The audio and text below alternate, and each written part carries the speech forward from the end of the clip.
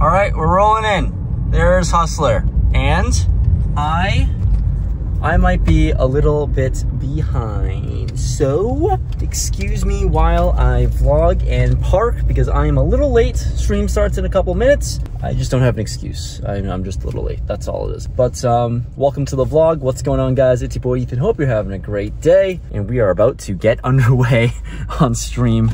Don't know how to park and drive while vlogging. It's a little difficult. I think uh, I'm to go with no hat today probably no sunglasses as well. All right, guys, um, we're gonna get started. We're playing the ante-game today, uh, stream number two of, well, three streams. So we got today and tomorrow left to play, and we're playing the ante-game. So it's gonna be $25 every single hand, kind of like a short deck format. And we're gonna try it out. It's my second time playing this format. Very, very fun, very, very different. And uh, let's rock and roll. I'm late. Get down my car. Let's get to Hustler and get some chips and start playing.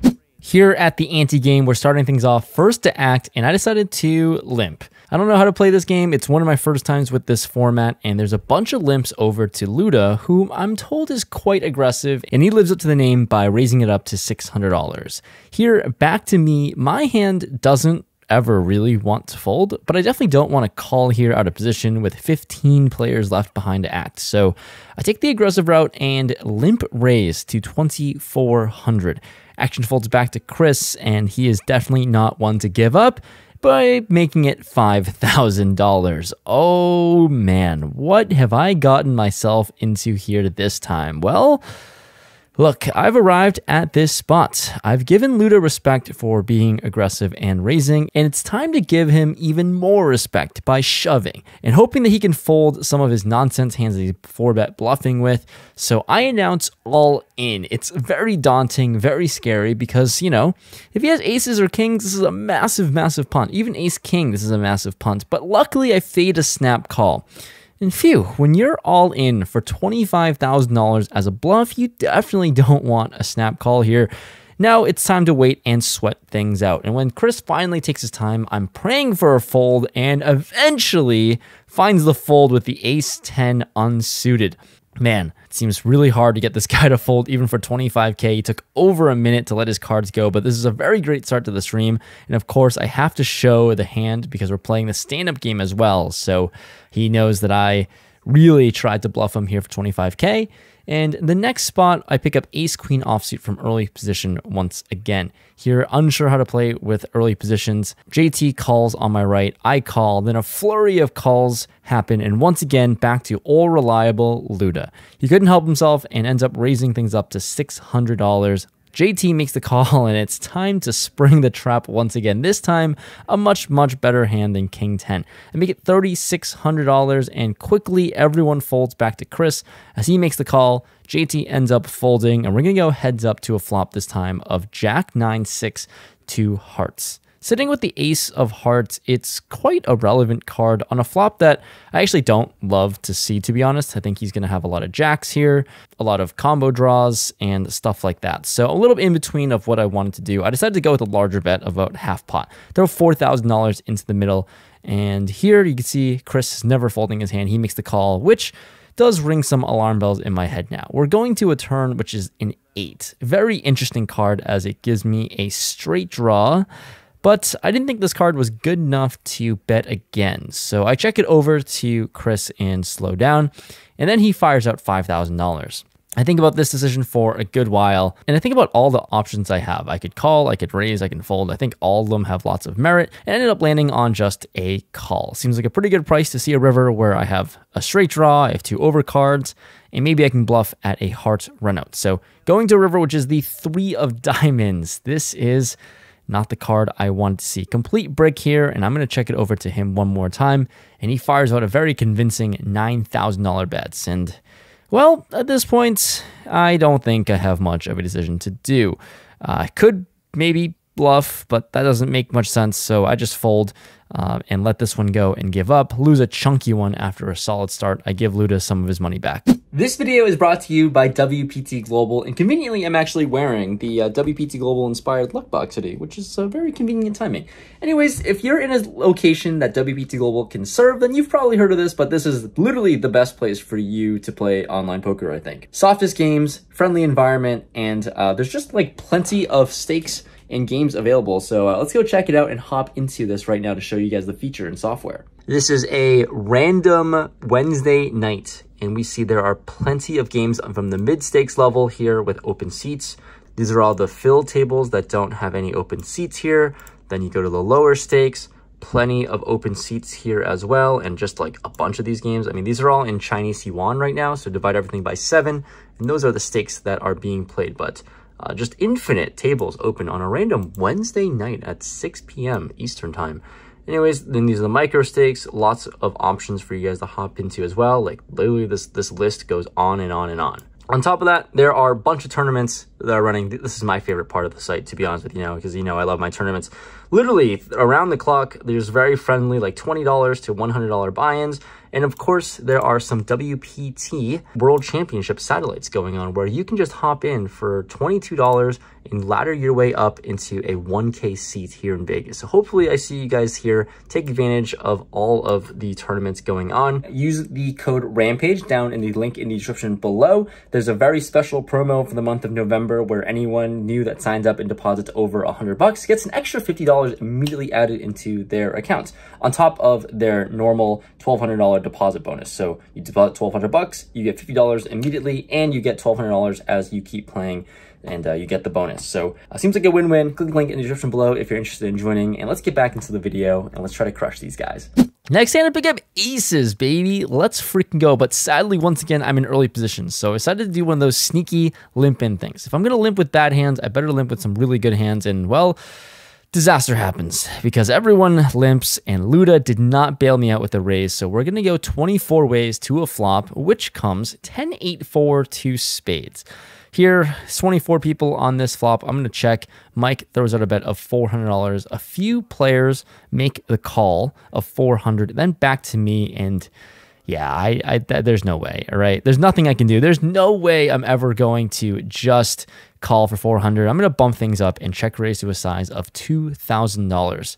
Here, playing a bloated pot, out of position, multi-way, all the things you don't want to see. But this 2K check raise ends up getting multiple callers, Mike and Francisco.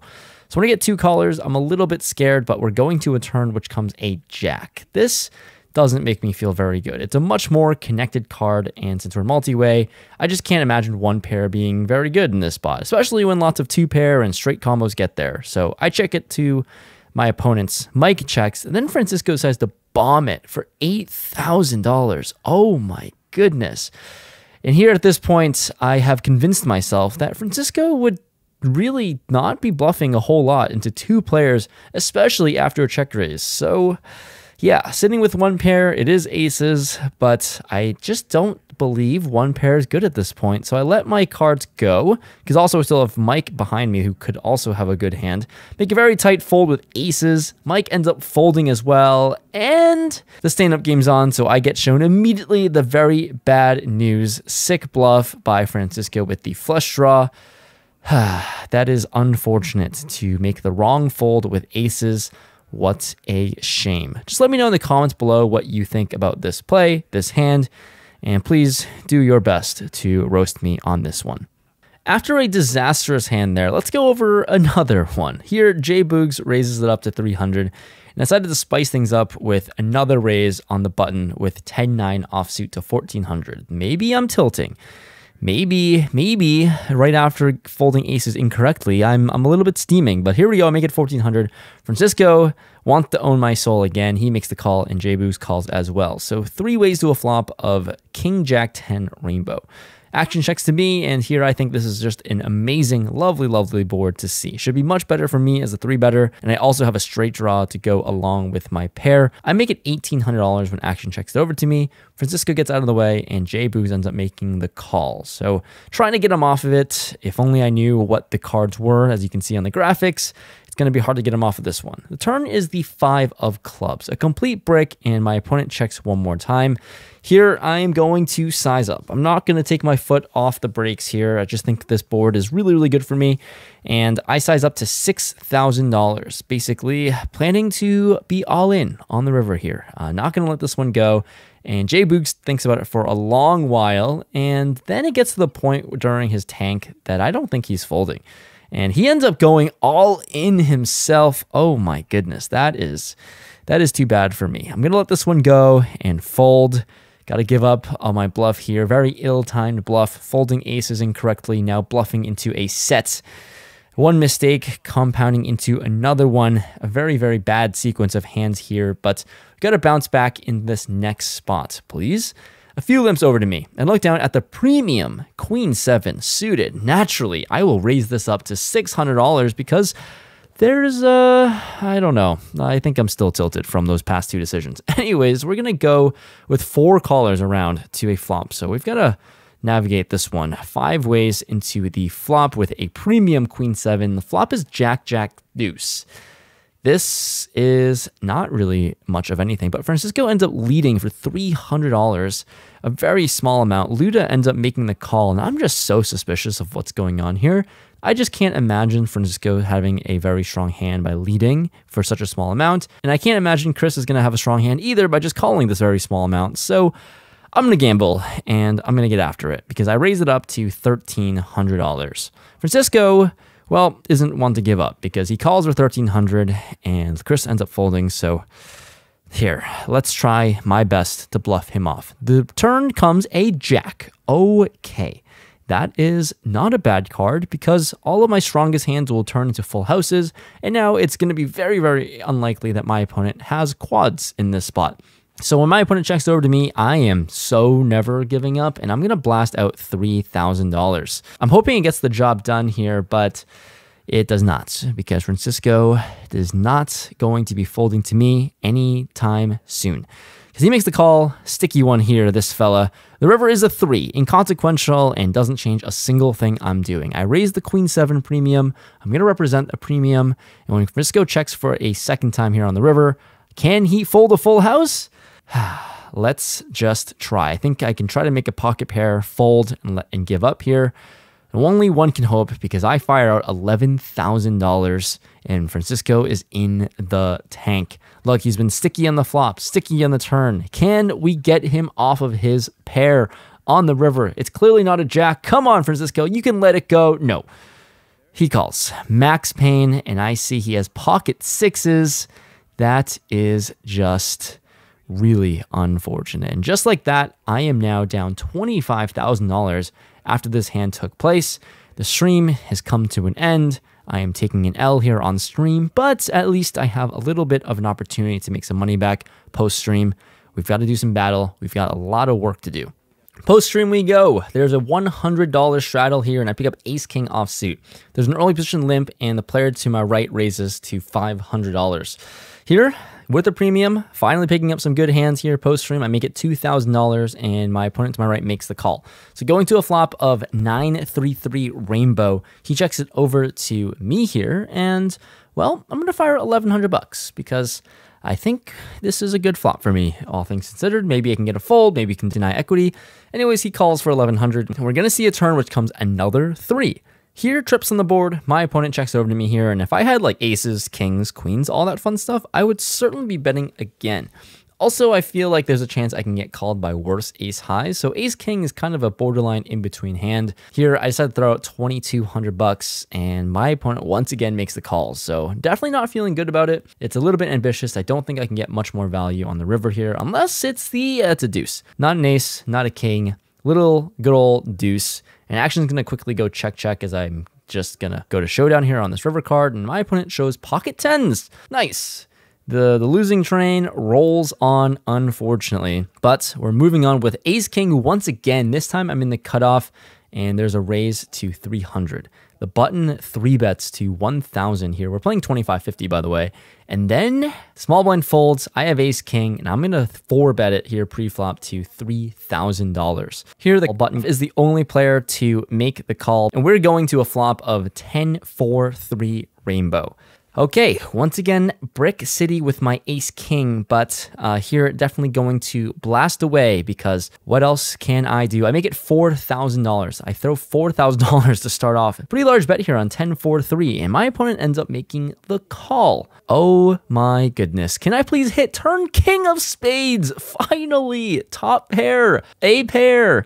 It's it it feels really really good here. Unfortunately, it was post stream, but here we are. Got to bet for some value now. Finally, when I get there, and I throw out ten thousand dollars. Pot's going to get really big if my opponent makes the call and he thinks about his decision for a while and ends up raising me. Oh my god, the pot is going to get bigger, isn't it? He makes it $22,000. And now I feel all sorts of weird and awkward. Uh, very, very small raise. It feels very, very value heavy. And my opponent only has like $25,000 behind in his stack too. So re-raising here isn't necessarily an awful play, but it doesn't feel comfortable. Um, anything that I do actually doesn't feel comfortable, but I know folding seems really wrong. So I just make the call for $12,000 more. And I don't know what my opponent's up to, but we're going to go to a river which comes in ace. Well, if I was looking for an excuse to fold on this hand, rivering top two pair is not going to be one of them. I check it over to my opponent hoping he doesn't have queen jack, I guess, or a set of tens. Who who really knows? And he has about twenty five thousand dollars behind, like I said, and I'm think I'm hoping for an all in. I'm not entirely sure, but he ends up checking this one back, showing ace queen.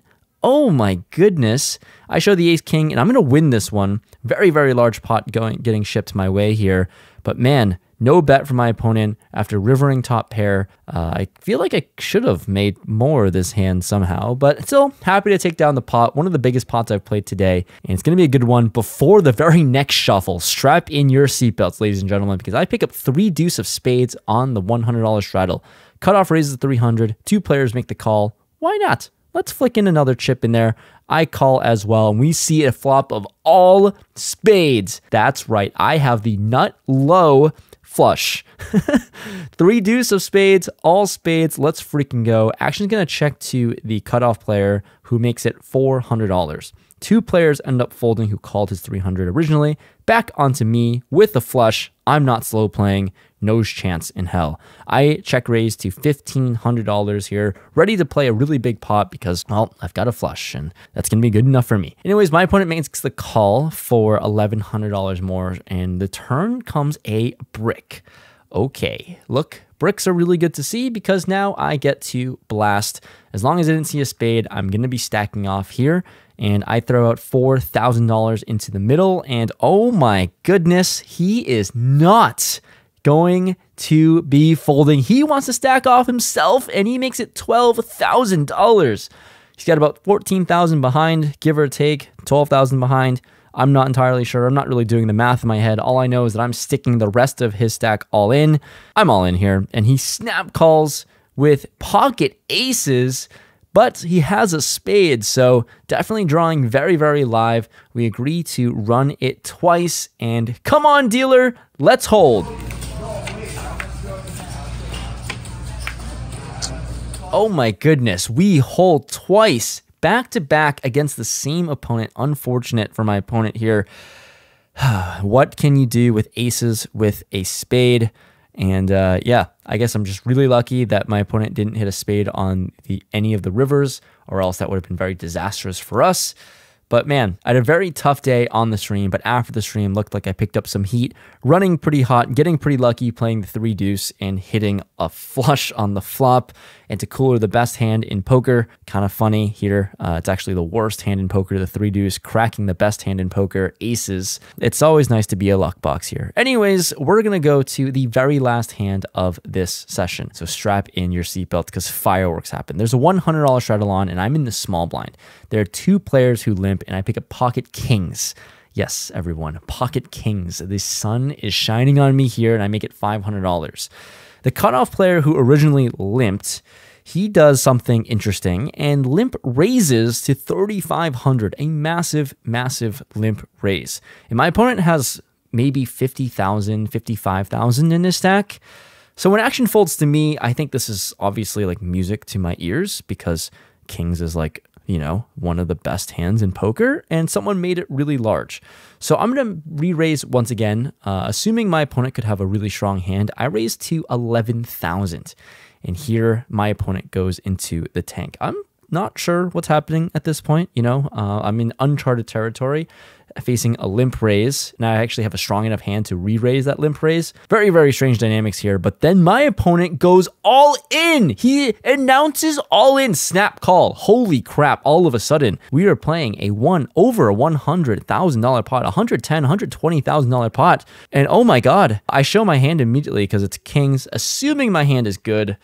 On the off chance, if it's not good, then I'm going to hate my life. And I ask my opponent, are we going to run it once or twice? Most of the time, I will always allow my opponents to choose how many times we want to run it because it makes no difference to me. And my opponent says twice and then changes his mind before the dealer actually runs it out and says one time. Oh my God.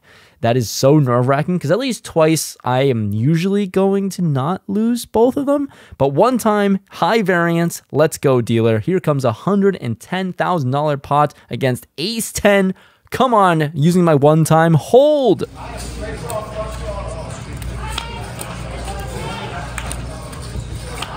Hey. I ended up winning. Whew, oh my god, what an incredible turn of events after the stream. And now I have piles. Oh my god, what do I do? Well, we know what happens after I have almost all the chips on the table. It's that the opponent, other opponents want to do uh, a little flip. And when I mean little, I mean it's a $4,000 flip four ways. So a 16K flip, basically. Uh, record the whole thing and, you know, just some pure degeneracy, but, you know, who's in for some good fun? How can I say no after upswinging over $100,000? And let's, fine, let's flip, happy to gamble. What ends up happening, unfortunately, is that we do um, like 10 more of these flips, and I don't win many of them. Uh, not all 10 were for $4,000 each, but at least five of them were for $4,000 each, and I didn't win any of them. So uh, downswinging in the flips, sadly. So that's going to reflect in my total during the outro, but at least it was fun. Um, these PLO flips are always nice to gamble. Just wish I was able to win one or two of them. All right, um, what a weird freaking day. On stream, I was card dead the whole time. Um, I'm here left alone with my chips and there's a good amount of it. I actually don't know how much it is yet, but what a weird day. I was card dead the entire stream basically, and I lost. I ended up losing like 30k on stream or a little bit more, and then after the stream, fire. Oh my god! I think I won like almost 100 or something plus with those like three hands. The uh, ace king hand, the three deuce hand, and the king's hand. King's hand was like over 100k pot by far. So I don't know how much I, I have for, but I, I, ended up flipping and I lost. I ran really bad with all the flips. Uh, we did many, many, many, many, many more flips after the one I showed you. Where we did 4K flips. So I think I lost like 25 to 30K in flips. Not something I'm necessarily very proud of, but I guess I'll, it will reflect the total. I was in the game for 300,000, out of the game for whatever number you see on screen, and that is my profit. I know I won at least, which is insane. Uh, how much I won, we're gonna find out uh, when I cash out. But thanks so much for watching this video. Uh, unfortunately, the stream didn't go very well, but after the stream, everything worked out. So, um, yeah, one last uh, stream game tomorrow. Uh, the next video you're gonna see. Gonna, probably gonna be a bigger game than what we just saw today because it's gonna be a stack lineup. Nick Airball, Andy Stacks, everyone that buys in deep. So, good luck me. Let's get it, and uh, hopefully I win again. See you next time.